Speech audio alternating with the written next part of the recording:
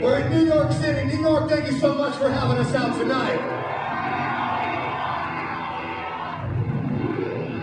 We've got a new album out entitled Dark Days on Roadrunner Records. This is called Fiend.